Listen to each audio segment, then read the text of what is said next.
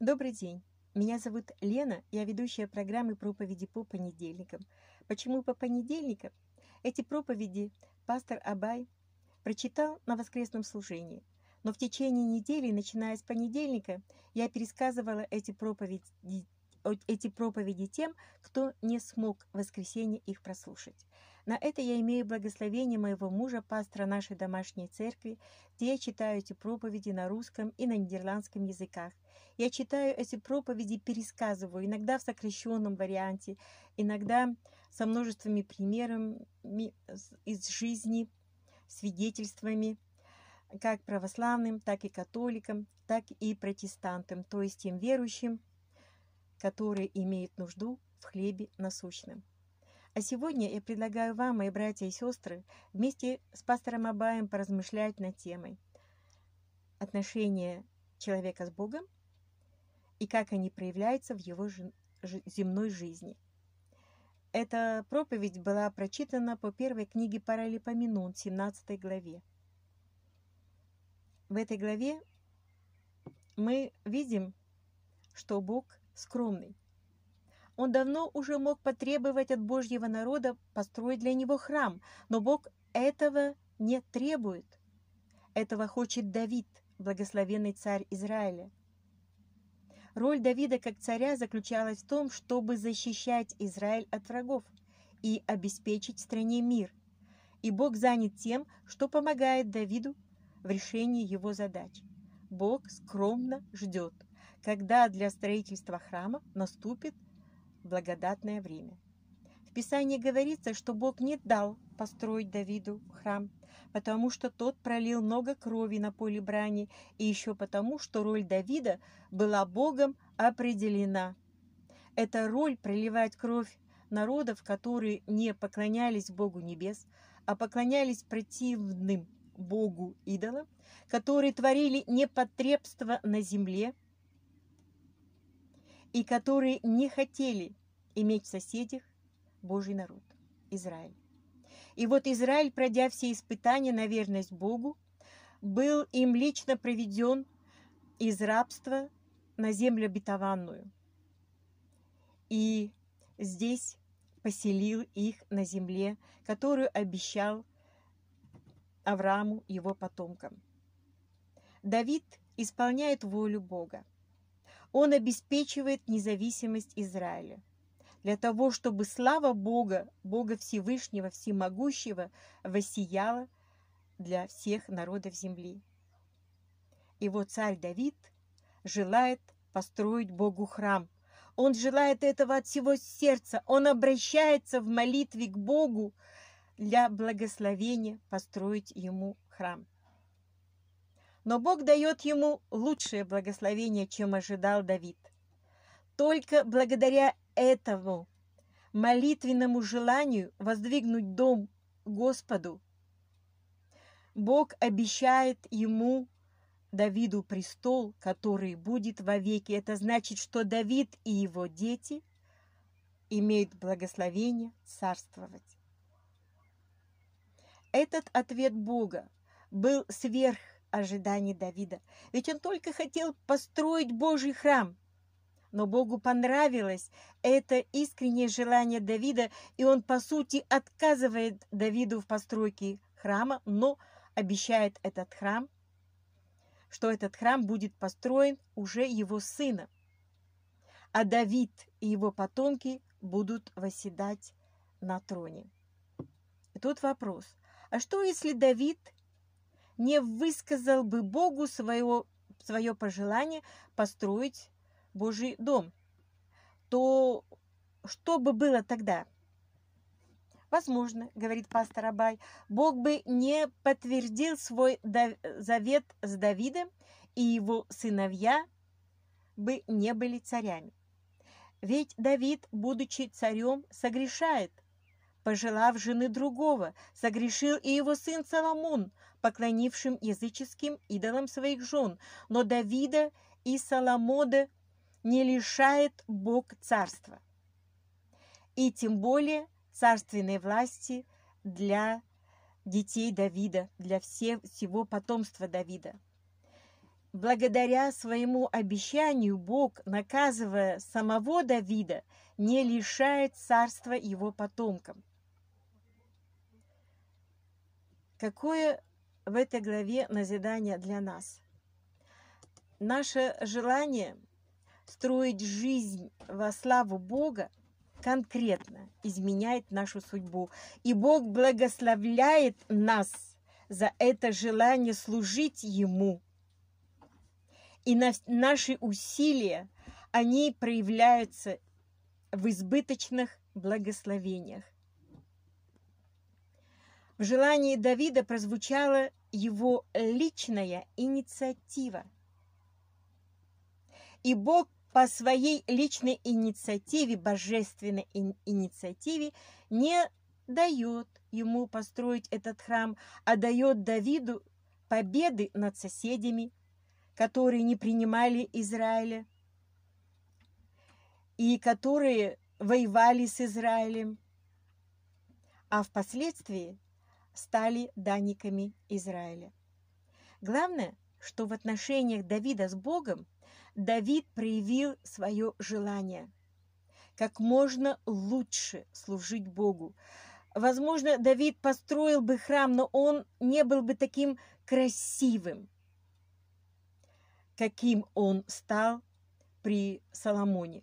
Потому что при Соломоне все ресурсы царства шли именно на строительство храма, а Давиду надо было вести войны, и он из своих ресурсов построил бы более скромный храм.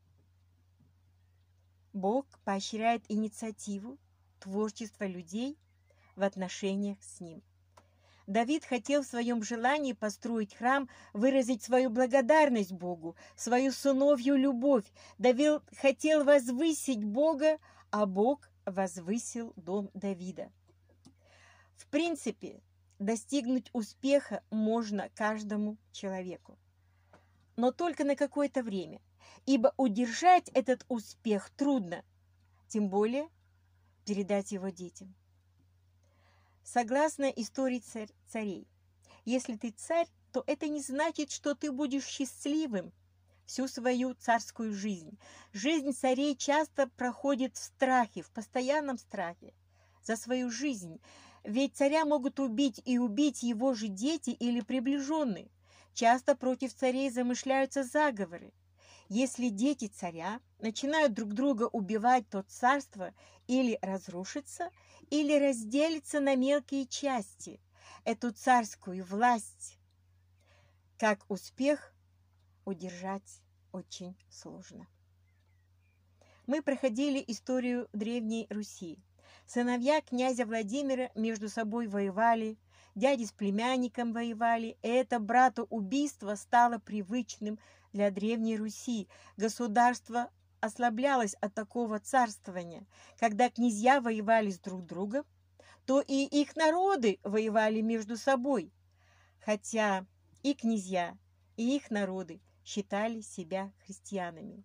И только во время нашествия татаро-монгол народ Древней Руси пришел к искреннему покаянию за эту братоубийственную вражду. И через это покаяние он, находясь три века под гнетом татаро-монгол, укрепился в вере. Бог обещает Давиду царство, которое будет передаваться его потомкам. Давид Царь Давид возгордился и согрешил. Бог его наказал, но не лишил царства. Его сын Соломон, сын от любимой жены Давида, был славен. Он построил храм, но тоже согрешил, и Бог тоже его не лишил царства. Внук Давида потерял десять колен Израиля, но потерял по собственной инициативе, а не потому, что Бог этого захотел. От решения людей много зависит в их судьбе. Когда Бог дал обещание Давиду, что не лишит царской власти вовек, то он будет держать свое обещание. Но люди сами могут отказаться от этой благодати, как отказались впоследствии потомки Давида. Проходят века. Божий народ все больше отходит от Бога. Он лишается царей и царств, но Бог остается верен своим обещаниям. Как потомок Давида рождается Иисус Христос. Сын Бога стал плотью. Он скромен, беден, трудится и проповедует Царство Божие. Теперь не к царям обращается Бог, а через Иисуса Христа, своего Сына, Он обращается к каждому человеку через слово проповеди. Иисус Христос отдает за грехи человека свою жизнь, чтобы каждый из нас через веру в Христа, пройдя земную жизнь веры, мог войти в вечное Царство Бога. Это обещание жить вечно. Нам предложено спасение. Каждому из нас предложено спасение. И делать выбор тоже предстоит каждому человеку в отдельности. Если у нас есть желание сотрудничать с Богом, Бог даст успех. Но если этот успех мы примем за свой счет и возомним, что нам теперь море по колено, то мы сами этот успех разрушим. Наша христианская жизнь строится не столько на наших походах в церковь, сколько на нашем желании послужить Иисусу Христу. Каждому из нас Бог дает свои благословения. Кому в священническом труде, кому в мирском. Чтобы наш успех не был приходящим, нам надо оставаться в скромности Бога, в скромности Христа. Эта скромность не отвечает нашим житейским представлениям о скромности. Эта скромность хвалится своей немощью, чтобы в нас проявилась сила Христа. Бог избрал немудрое мира – чтобы посрамить мудрых и немощное мира избрал Бог, чтобы посрамить сильное. Послание апостола Павла Коринфянам 1, 1 глава, 26 стих. Одно время мои родители – увлеклись телевизионными передачами, где об успехах верующих людей говорили проповедники из Америки.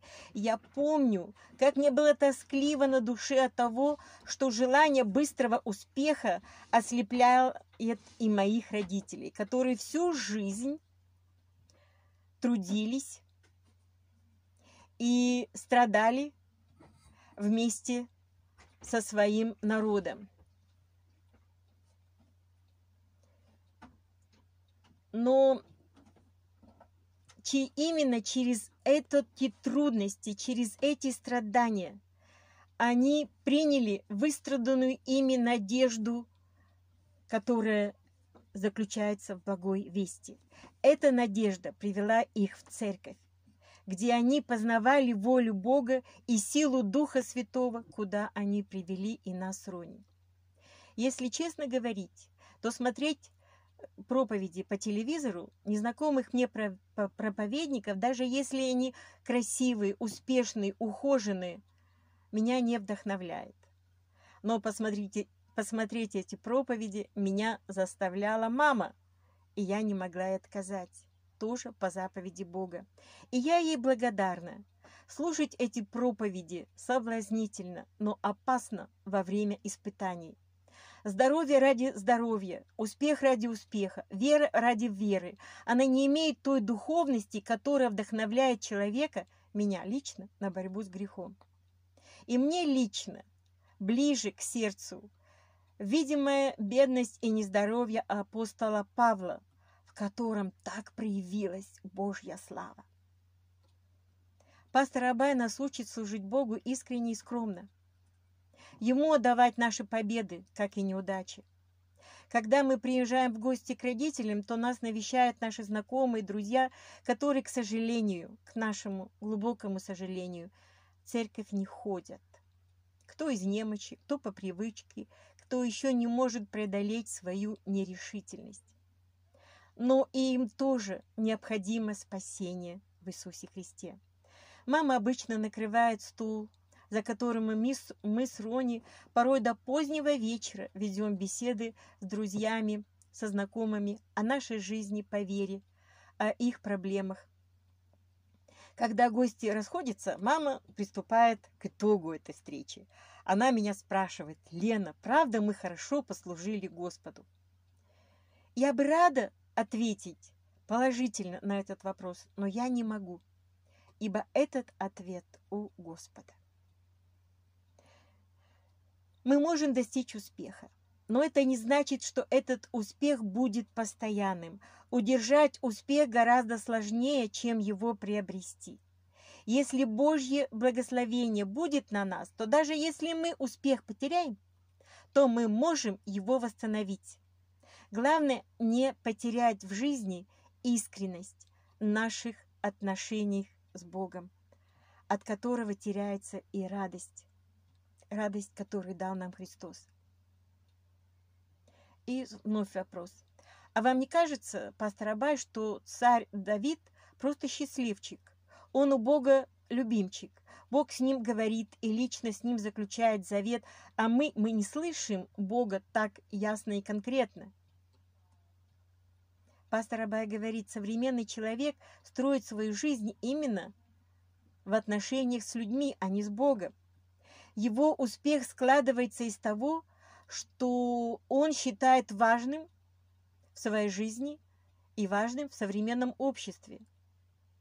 Наш современник не настроен, как Давид, ждать царского трона 40 лет, находясь в изгнании, и не в его привычках выпрыгивать из личностных приоритетов и проявлять свою инициативу перед Господом, чтобы лучше Ему послужить.